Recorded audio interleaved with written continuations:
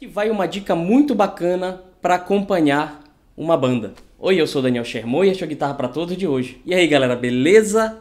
Bom, tem uma dica muito interessante e isso requer um pouco mais de conhecimento teórico e de harmonia, na verdade, que é o seguinte: a gente para acompanhar bem é, uma banda, enfim, uma cantora, um cantor, seja lá o que for, mas acompanhar né, no sentido de fazer parte da equipe, de fazer a cozinha, né, digamos assim.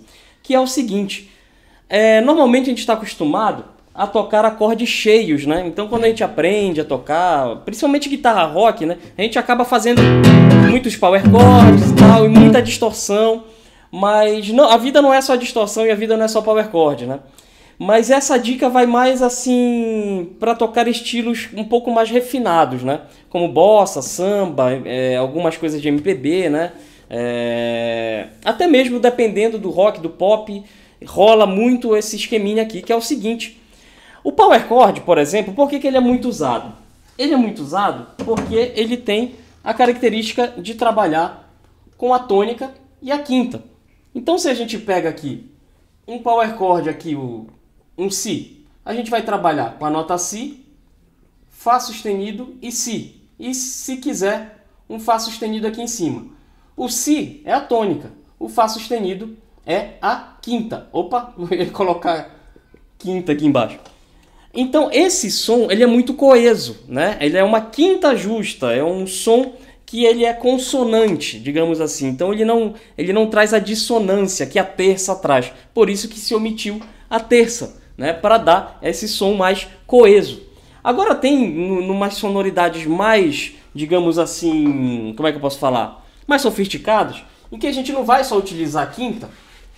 Tem um negócio bacana que a gente utiliza a terça e a sétima, né?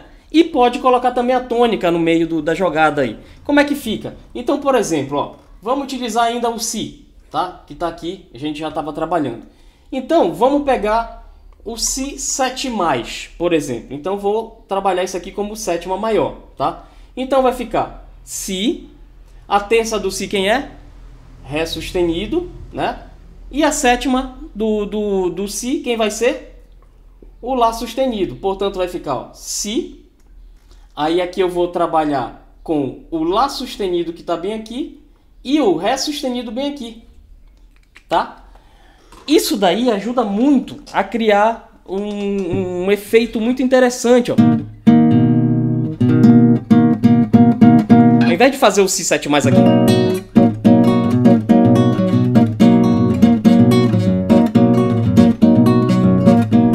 eu vou eliminar as duas primeiras cordas, né? E vou tocar só as três aqui, ó.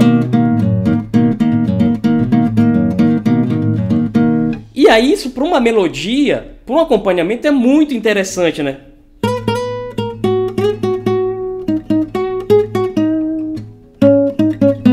Por exemplo, a melodia, ó.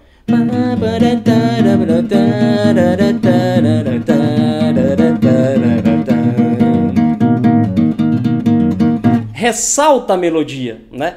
E o pessoal não é muito acostumado a isso daqui, né? Essa é uma dica muito bacana que obviamente precisa de um bom conhecimento do braço, bom conhecimento de acordes, de construção de acordes, tá? Então isso dá, mas só para vocês entenderem como é que funciona melhor o acompanhamento. Então isso vocês podem observar bastante no Nelson Faria, né? Se, se vocês olharem, derem uma olhada no canal dele, ele, na hora que ele toca, né? Ele trabalha exatamente com essa sequência aqui, digamos assim tônica, terça e sétima. Tônica, terça e sétima. Diferente já do rock, que trabalha tônica e quinta. Mas para um som mais refinado, a terça que tem uma dissonância e a sétima também tem uma dissonância, né, funciona bem bacana. E isso pode funcionar, por exemplo, para sétima menor, né? Então, ao invés do, do opa, é, do, de ser o, o lá sustenido, vai ser o lá, né? E vai ser igual, ó. Vou pegar aqui o violão de, de aço. Então, ó.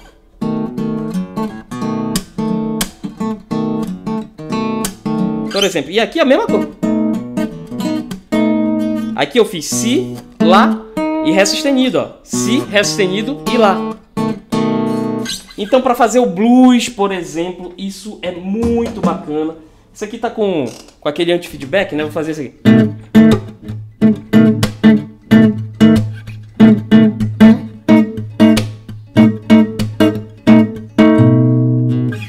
Exemplo, né?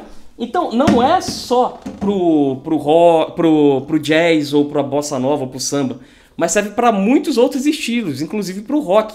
Então, isso aqui ajuda a dar cama pra coisa, né? Então, tu estás tocando numa banda em que tem um violão e uma guitarra, por exemplo, ou duas guitarras. Uma guitarra pode fazer esse esquema, mais base, e a outra pode preencher os espaços vazios, utilizando as quatro primeiras cordas, por exemplo, né? Então essa é a dica de hoje, espero que gostem, né? Isso aqui já é uma coisa mais profunda, mas eu gosto de vez em quando de falar de algo um pouquinho mais complexo também, porque é legal pra caramba também, né? É isso, gente. Um abraço e até amanhã.